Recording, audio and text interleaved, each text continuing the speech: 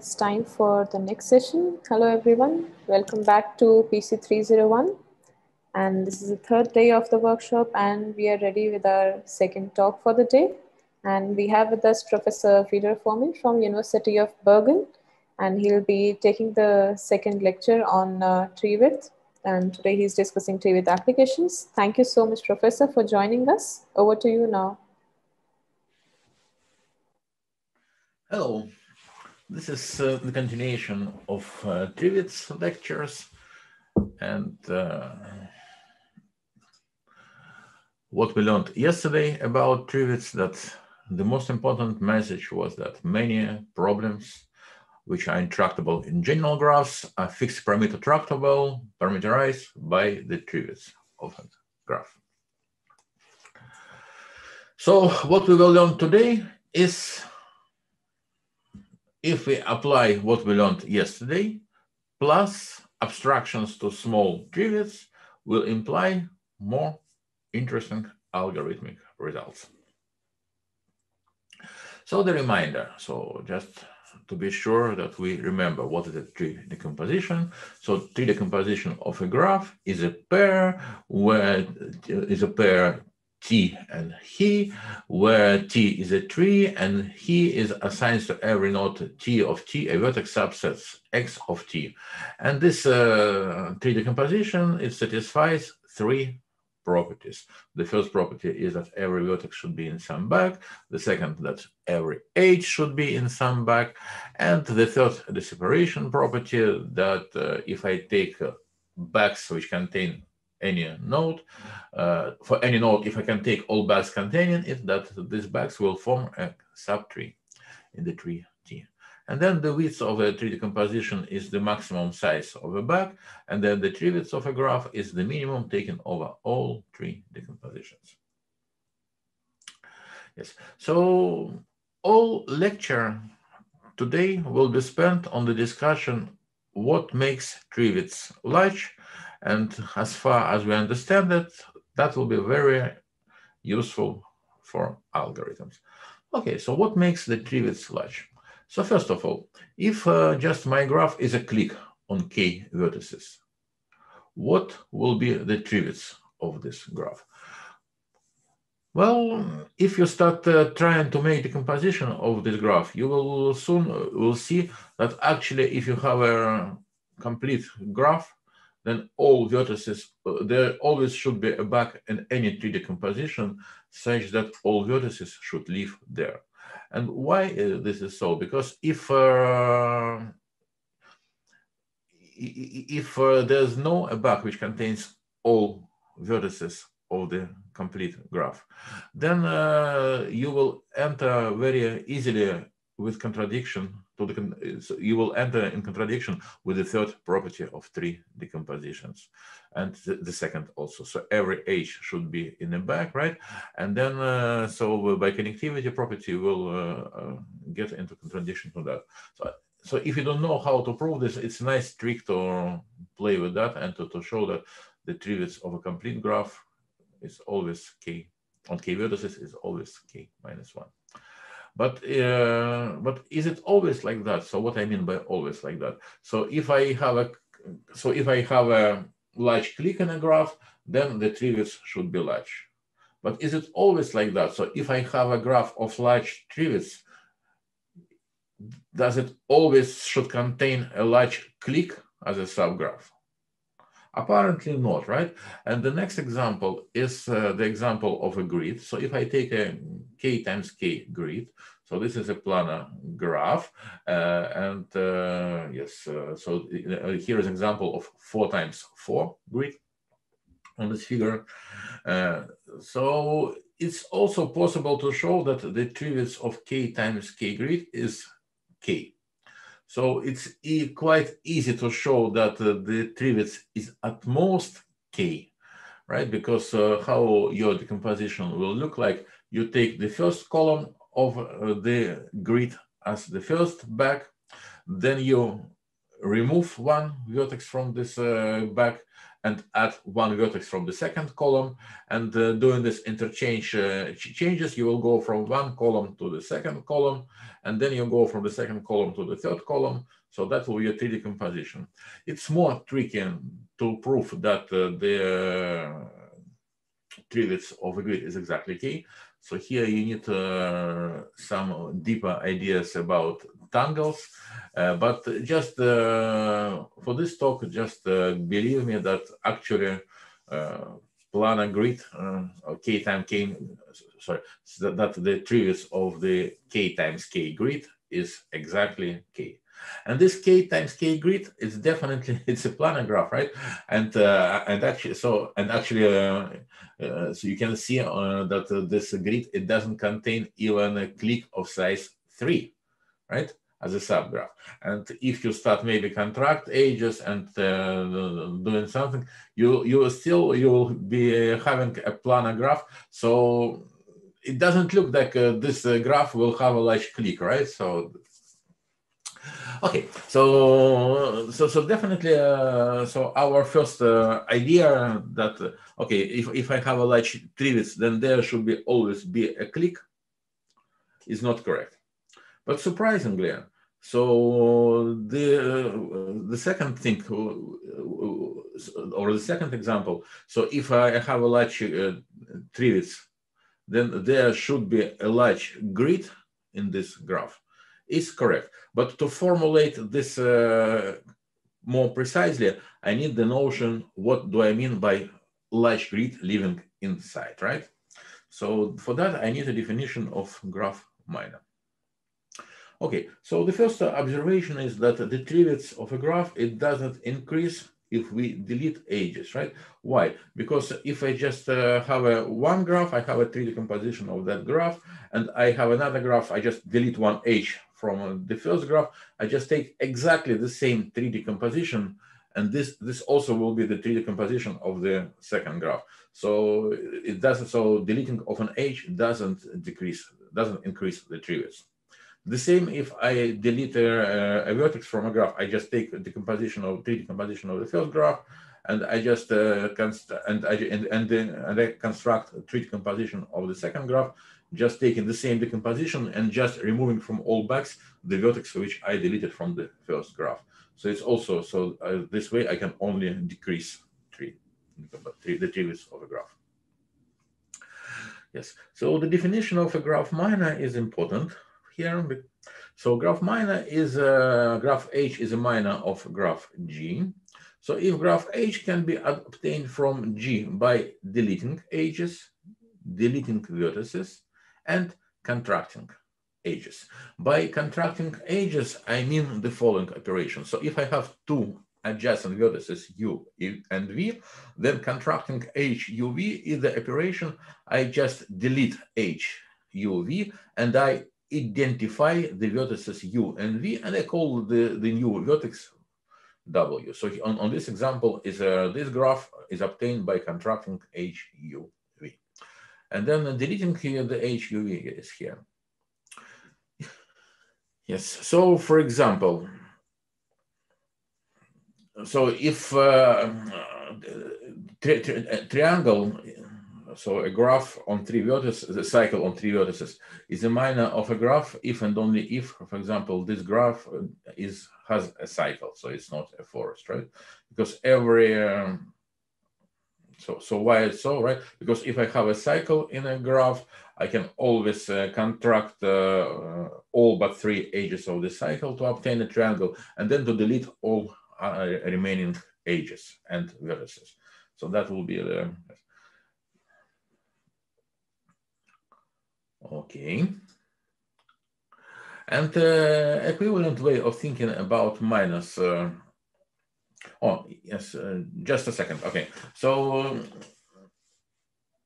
just uh, let's stare at this definition a second longer.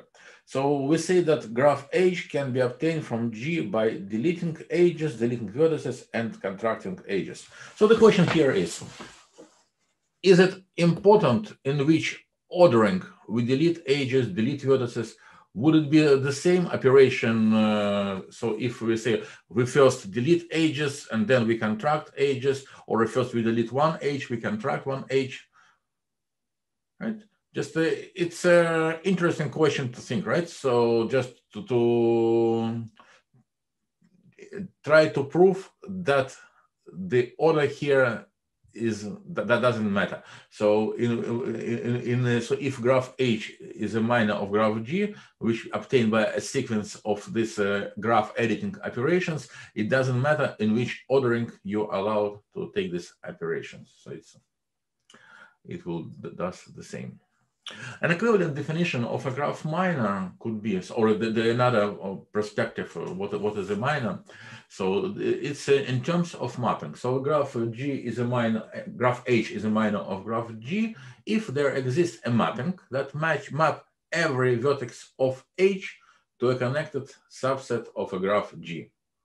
And it satisfies the following properties. So this uh, the images of vertices U and V are disjoint if these are different vertices, and if H, uh, uh, if uh, U and V are adjacent in the graph G, then there should be an edge uh, between the images of U and the images of V. So in this example, I have a graph, right, which is a minor of this graph. And here are the images of, uh, so for example, uh, so the vertex one is mapped only to one vertex. The vertex 2 is also mapped to, to, to, to, to one vertex, but uh, the vertex 4, for example, is mapped to four vertices, and the vertex 6 is mapped to three vertices. And uh, why this is uh, the same definition, right? So to see that, that uh, look, so the, the black vertices, the vertices which are not images of any vertex of a graph H, you can just delete them right? So then uh, the, um, the image of one vertex, because it's connected component, you just contract it into one vertex, right? And then, uh, so the, so the, then, uh, and then this way you will construct uh, the graph A, uh, the graph H uh, as a matter. So these two definitions, as, a, as a minor. So these two definitions are really equivalent. So the fact which I, I will be using. Yes. Yes. Sure. So in the second bullet, UV is one. a pH. Yeah. Uh, so UV should belong to EH? Or is it EG only? No, no. If, if, if, if I have two vertices which are adjacent, mm -hmm. then there should be at least one edge between the images. So for example, vertex 6 and vertex 4 uh, adjustment here, right? Ah, you're right. Yes, yeah, yeah, yeah, yes, yes, yes, yes, yes. You're right. So if uh, yeah, yeah. So here should be H, of course. Okay. That was the question, right? Yes. Yeah. Thank you. Yeah. Thank that's you. A, that, that, that that's a typo. Here should be H. Yes. Thank you. Yeah. Okay. So the. Uh, the fact which I will be using a lot is that uh, the treewidth is closed under operations of uh, edge deletion, vertex deletion, and edge contraction. So in other words, that uh, treewidth doesn't increase when we delete edges, delete vertices, and contract edges. Right? So I already uh, well uh, uh, give some uh, hints why the treewidth doesn't increase when we delete edges and vertices, and uh, why the treewidth doesn't increase when we contract edges, right? That's again, so we have to take a look what's happening with the tree. So basically again, so if I have a edge UV, and I have a tree decomposition of a graph G. So then when I contract this edge, I just take uh, the same tree decomposition, right? And everywhere I just replace where uh, U or a V occurs, I replace it by the occurrence of the new vertex W. And then I have to check that all three uh, uh all three uh, axioms of the treewidth hold. But. Okay, but then so if uh, we accept this fact that the treewidth is closed under edge deletion, H vertex removal, and uh, uh, edge contraction, then if I have a graph H, which is a minor of graph G, then the treewidth of graph H should be at most the treewidth of graph G. And for example, so uh, we already proved that if uh, that the treewidth of a complete graph K uh, on k plus one vertices is at most is is exactly k, right? So then uh, if a graph G contains uh, such a graph as a minor, so then the treewidth of a graph is also at least k. Uh, yes, so this is uh, uh, Yes, and then again, so the same question. So if the treewidth of a graph is large, does it always contain a large clique as a minor? And the answer again is no, right? Because uh, if I take a grid, the grid doesn't contain a large clique as a minor, right? Why? Because grid is a planar graph, right? And if I delete uh, edge, delete vertex or a contract on edge, my graph still will be a planar. Right? But uh, any planar graph, it cannot contain a clique on five vertices as a minor, right? This is the famous uh, Kuratowski theorem. So it means that uh, the condition that uh, uh, uh just the that the condition that the, or that the statement that uh, if my treewidth is large, then there should be a clique minor there. It's not true at all, right? Uh, and of course, again, we know that already what is the treewidth of a of a grid. So then, if a graph contains large grid as a minor, then its treewidth is also large.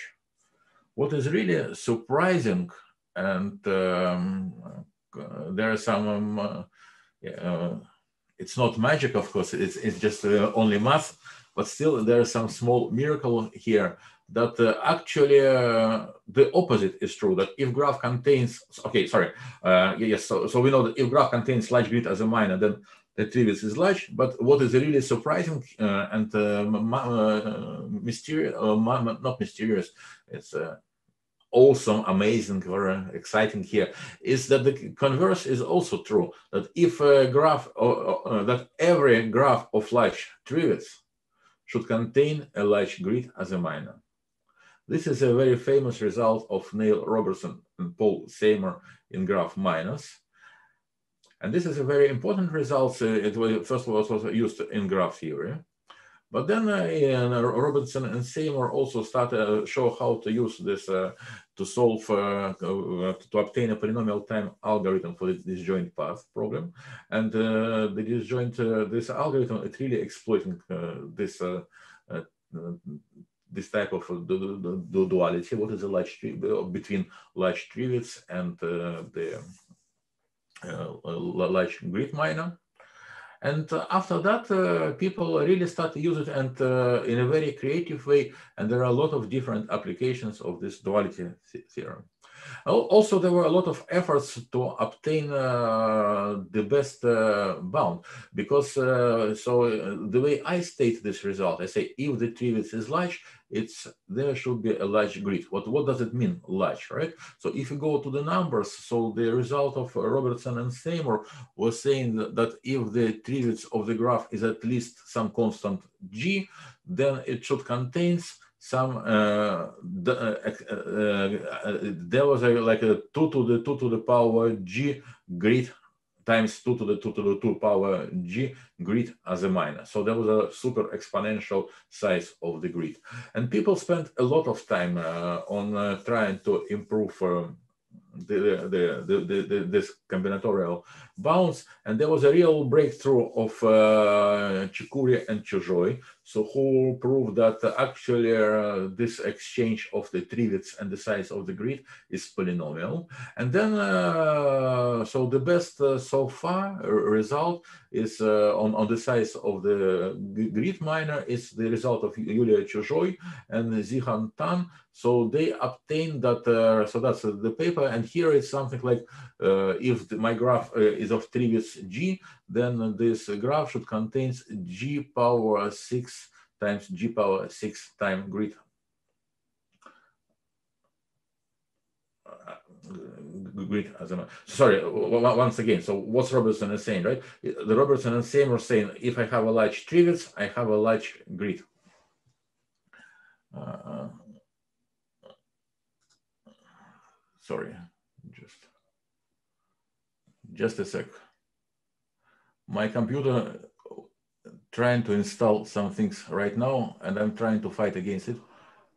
So just, just, okay, okay. I think I won.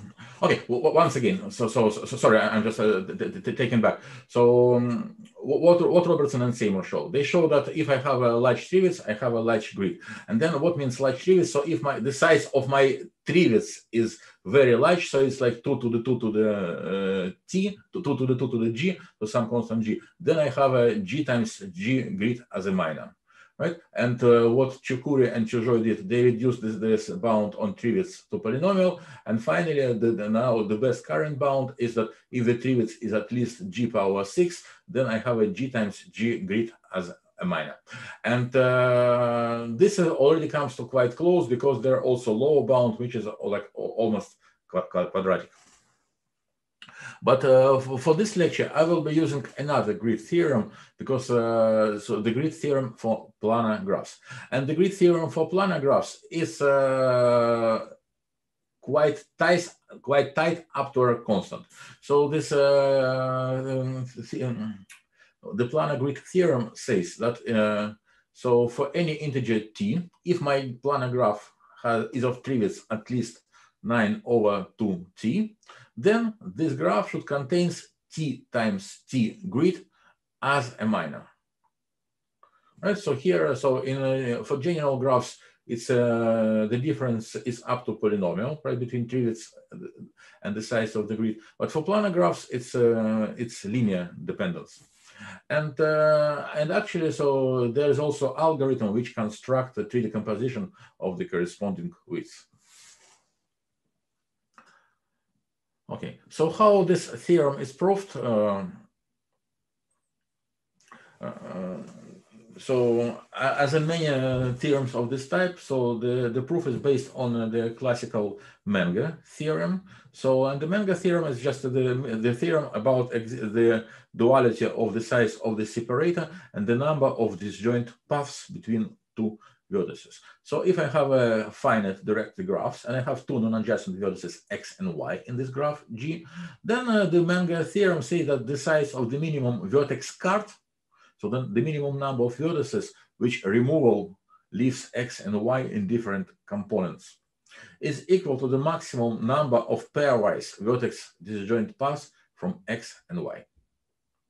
So this is the theorem I will be using to prove the planar grid theorem. What's happening?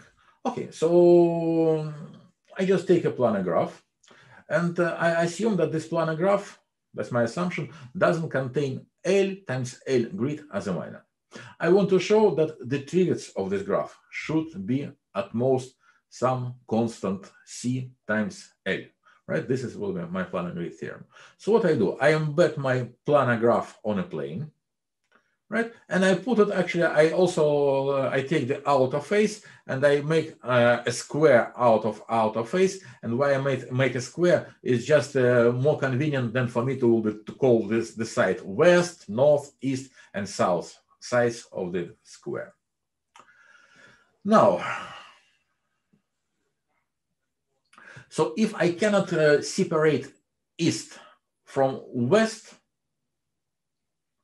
and if I cannot separate south from north by removing at most L vertices, then by Menger theorem, there are L vertex disjoint paths from south to north, and also there are at least L disjoint paths from east to the west, right?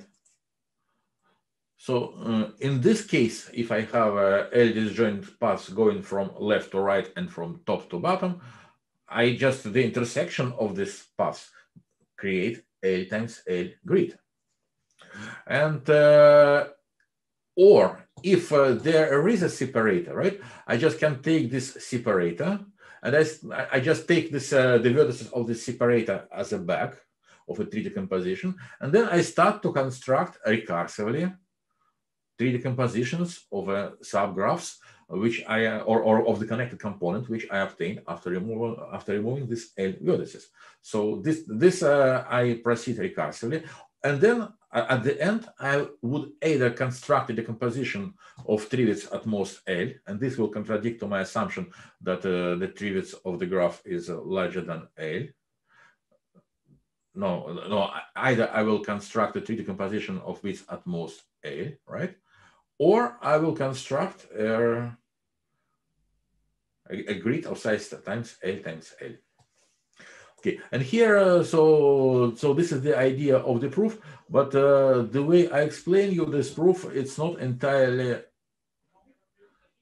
it's not entirely, uh, it, it's, uh, I would say, okay, let's say, uh, be honest, it's not entirely correct, and why it's not entirely correct. So I was, uh, so the, the, the, the thing which I really skip in this proof is uh, quite messy part because I was saying, okay, if uh, there's no separator, then there are disjoint paths from left to right, and there are disjoint paths from top from top to, to bottom. Right, and then I was saying that the intersection of these paths creates a minor of a grid. Well, this is correct, but uh, the way to prove it. So if you see in the picture, it's more or less clear here, right? Because, but uh, but uh, on this picture, I I, I, lie to you because uh, the way this, so the Menger theorem, it doesn't say how this path looks like, right? And this path, they go back and forth many times and they can behave in a very ugly way. And then basically when you take the intersection of this uh, very ugly paths, you really have to, you, you, you'll struggle to prove that uh, the intersection of this path will contain a large grid as a minor. This is still true, but you have to be very careful, and this is not a trivial part of the proof. So just be aware that, well, yes, what, what I say is correct, but uh, there are a lot of things which I don't explain, and it's not that simple as it looks like. But the intuition is uh, correct. Okay, so the immediate application of uh, these things, I want to give you a sub-exponential parameterized algorithm for vertex cover. So vertex cover of a graph, this is the problem. Uh, if you follow the lectures of this uh, course, you met a lot of time, right? Because uh, when uh, when anyone was given you example of branching algorithm, you start from vertex cover. When anyone was given your kernelization algorithm, you start from vertex cover, and then you continue with vertex cover all the time, right? Still, so for, for those of you who missed all these lectures, this is the definition of the vertex cover. So given a graph and integer k, I want to decide whether G contains a vertex cover of size at most k. And what we saw, so that we, we, we uh, we saw not one, but we saw a lot of algorithms for vertex cover, which solves vertex cover in time to 2 to the k, right? Because uh, branching algorithm solves vertex cover in time 2 to the k. And uh, if you do kernelization and then you do brute force after that, you solve the vertex cover in 2 to the k. And actually, even I gave you the last lecture, the algorithm for vertex cover. I was giving you algorithm for independent set right? But uh, what is independent set? If I have an independent set and I take all vertices which are not in the independent set, it's a vertex cover, right? So every time when I compute a maximum independent set, I always compute the minimum vertex cover. So, and my algorithm of yesterday was computing the maximum independent set in times two to the treewidth of the graph, right? So, uh, and from this algorithm, you immediately obtain the algorithm which computes a vertex cover in time two to the treewidth of the graph, right? And by the way, uh, this uh, algorithm two to the treewidth uh, uh, for vertex cover, it also implies the algorithms uh, two to the k for vertex cover, right? So if if you if you don't know this, try to prove that treewidth is always at most vertex cover, right? That's uh, that could be another exercise. Okay, so we have an algorithm which works for vertex cover in 2 to the k for general graphs. And also this is uh, more or less what uh, we can obtain because to exponential time hypothesis, you cannot go beyond uh, linear function of k in the in this with this running time. But for planar graphs, the situation is different. And for planar graphs, uh, I will show you an algorithm which solves vertex cover in times 2 to the square root of k again, so nothing uh, uh, really terrible happening here, right? Because yes, we solve a problem which is NP complete. We solve it uh, on, on, in sub-exponential time. And on planar graphs, and on planar graphs, vertex cover is still NP complete, but nothing bad happening here. It doesn't show that P is equal to NP, right? Because it's still the, the class of problems which are solvable in sub-exponential time is still not polynomial running time, right? It's still exponential. So, so from the perspective of P and NP, nothing bad happening, but still this uh, 2 to the square root of k of exponential parameterized running time, it's a quite huge improvement to the 2 to the comparing to the running time of the vertex cover for vertex cover on general graphs. So I want to prove uh, the following theorem. So so this sub-exponential time algorithm, it will follow from completely combinatorial result. So if a graph G contains a vertex cover of size K, this is what I want to prove, then the treewidth of this graph is at most square root of K up to some constant.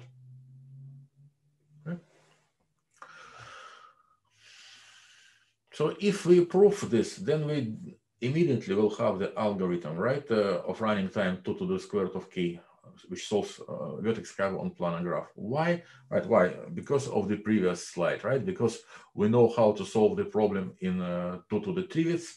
So if the treewidth is at most square root of k, then we solve, then I just take the treewidth algorithm and I solve this problem in sub-exponential running time. Okay, so how I prove this theorem? Few questions to ask. First of all, let's stare at a grid. So how large could be the vertex cover of a t times t grid? Well, it could be a uh, quite large, right? Because the so t times t grid, it contains a, a matching of size roughly t square over 2 right? You, you just take every, every, so all, all in every row, you take odd edges of the rows, right? And that will be the matching of this size. And uh, this means that uh, so for every edge of this matching, you need at least one vertex to cover it, right? So this means that uh, if you have t times t grid, then you the, the vertex cover of this uh, t times t grid is at least t square over 2.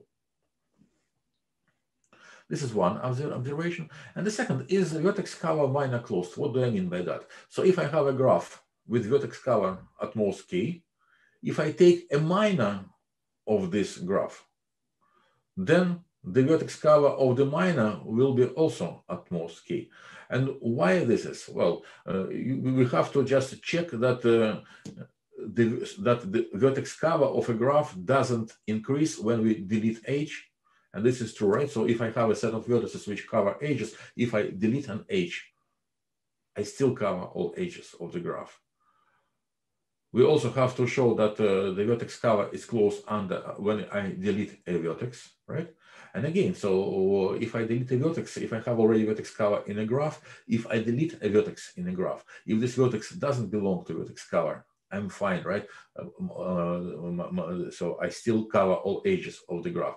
And if I delete a vertex which belongs to vertex cover, right? When I delete a vertex, I also delete all edges incident to this vertex. So I don't need this vertex to cover anymore, right? So I'm still perfectly fine. So I don't increase the vertex cover. The more uh, tricky to show that uh, uh, if I contract an edge, then the vertex cover also doesn't increase. But again, this is also it's, it's, it's it's it, well, it's more complicated than edge deletion, but it's not that complicated. So here, just believe me. So vertex cover is minor closed. Yes, that's it. Actually, we don't need anything else. As far as we know the planar grid theorem, these two observations implies that if a planar graph G contains a vertex cover of size k, then the treewidth of this graph should be also should is at most square root of k. How come? Indeed. So if I have a, if the treewidth of my graph is more than c square root of k, where c is some constant. I don't want to specify this constant. You just take a look at the planar grid theorem and take the constant from there. Then this uh, graph G should contain uh, square root of k times square root of k grid as a minor, right? This is a planar grid theorem. But now, uh, because uh, it's a grid, I'm using property one. I know that this grid should have vertex cover of size at least k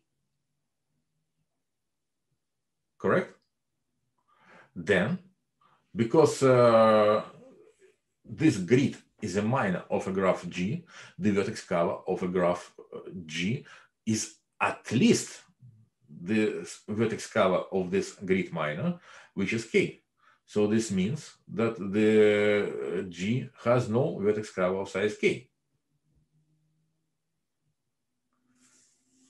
Yes?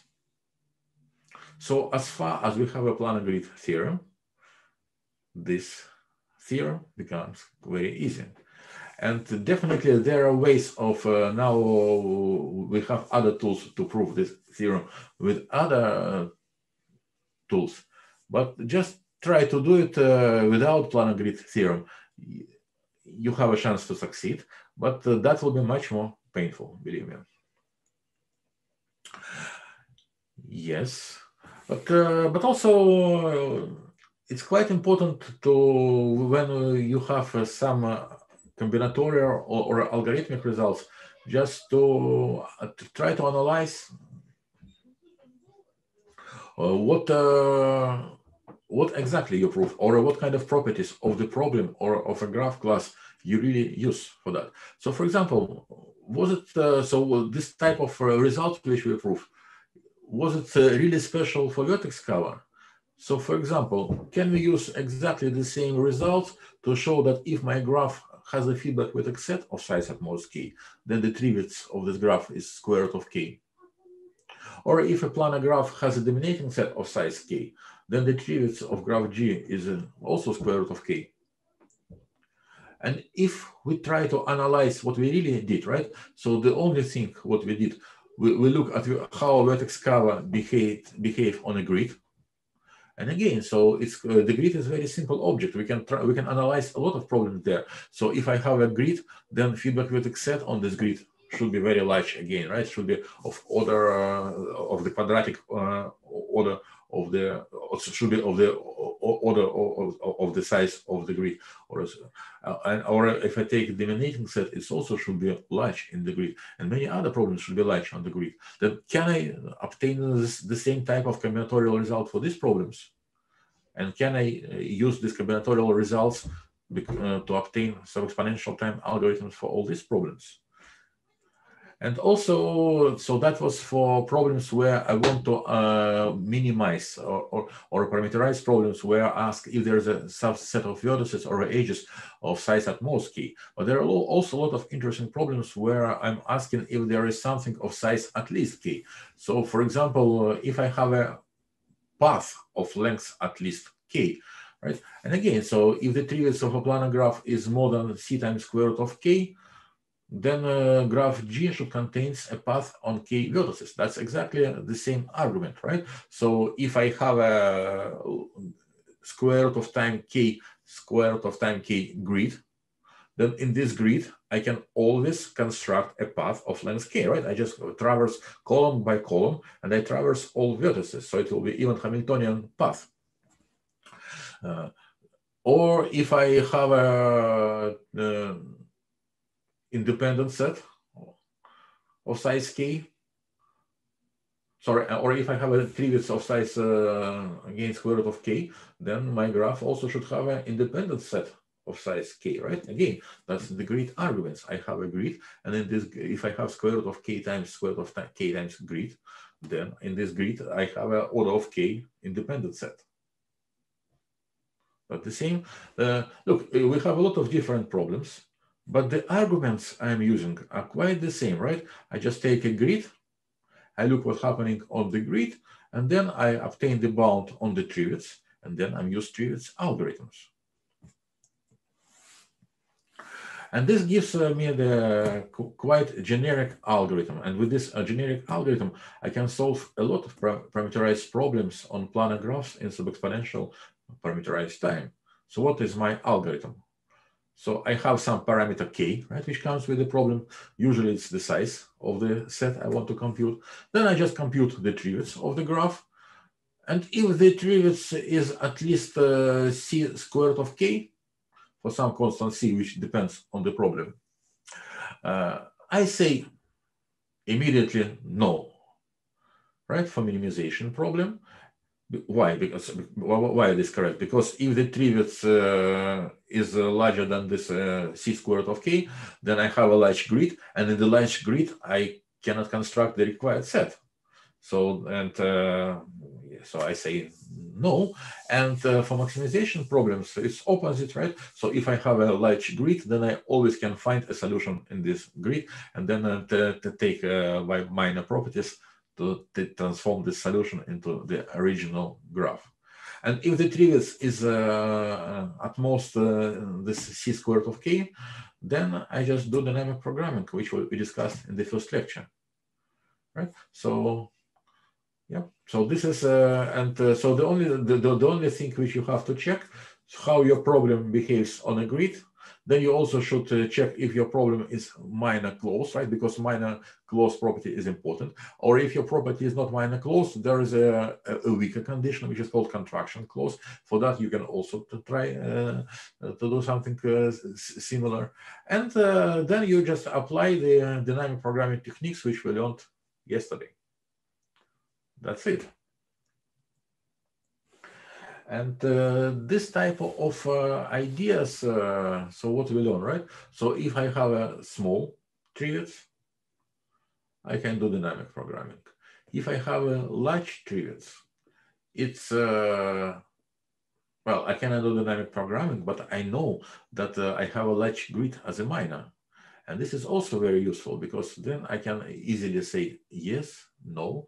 And there are much more advanced techniques. Uh, for example, if you have a large grid as a minor, you can always, for some problems, you can conclude that actually uh, then you can always find an irrelevant vertex, uh, which means that the vertex, after removal of this irrelevant vertex, nothing changes in your problem. So if you had yes instance, that still will be yes instance. If you if you have no instance, it still will be no instance.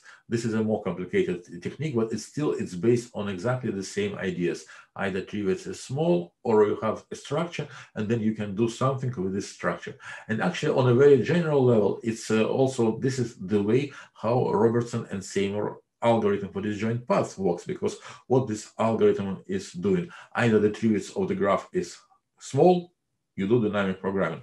If the treewidth of the graph is large, then you can prove that you have a relevant vertex such that if you remove this vertex, nothing can nothing will be so the, the, you will have exactly the same uh, you will have an equivalent instance of the problem. So then what you're doing, you just uh, compute treewidth, uh, uh the treewidth is small do dynamic programming, treewidth is large. You, you, you, you, you, you, you, find irrelevant vertex, you, re you remove this irrelevant vertex, and again, so you reduce the size of your problem, so you continue again and again. And again, there are a lot of this type of algorithms which explore the irrelevant vertex technique. The arguments which I was explaining for vertex cover, this uh, trick uh, dynamic programming, uh, grid, and sub-exponential algorithms, it's actually, there is a systematic way of uh, explaining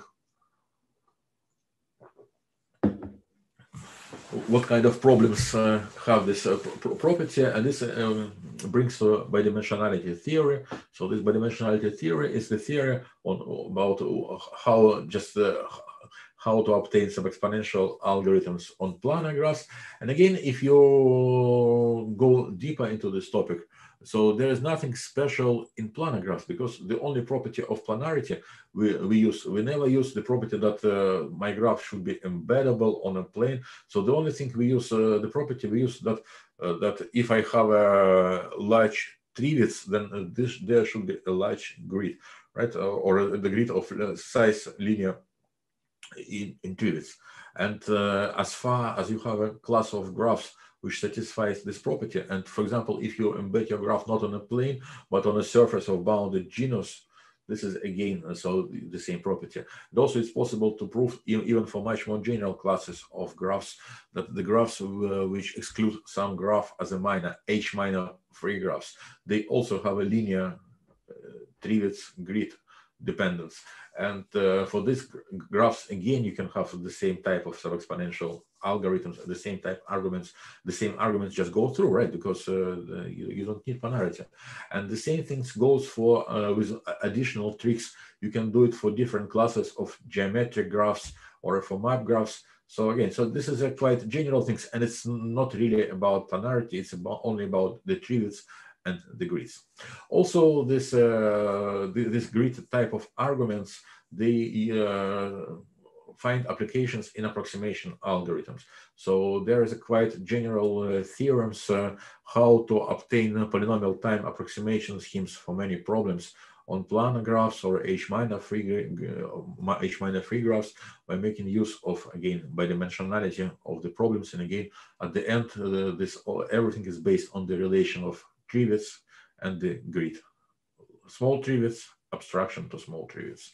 And finally, also there is a, the, the very similar ideas form the basement, uh, but the uh, form the base for quite general meta theorems for kernelizations, also on planar graphs and graphs of bounded genus. So, so what I was explaining today is just again, it's a very small uh, part of the whole uh, uh, area, what's happening with the treewidth and bidimensionality, grid theorem. So there are really a lot of uh, interesting algorithmic applications here, and not only in parameterized complexity. Again, so if you are interested to learn more, you definitely have to go to chapter seven. So this is uh, it's it's uh, explains uh, on a much deeper level what I was uh, talking uh, today and, and, yesterday, and also chapter seven it's uh, contains a lot of references to further reading. So that's definitely if you want to go to, to learn more about treewidth, please go there.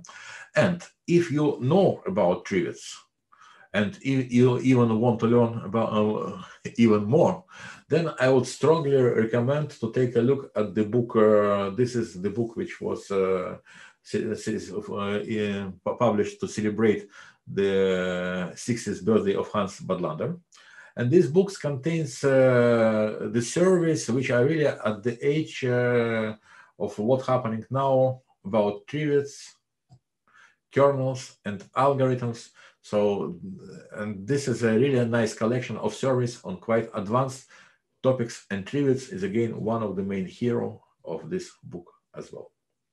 Yes, so I am done and uh, yes, so if you have any questions, please shoot.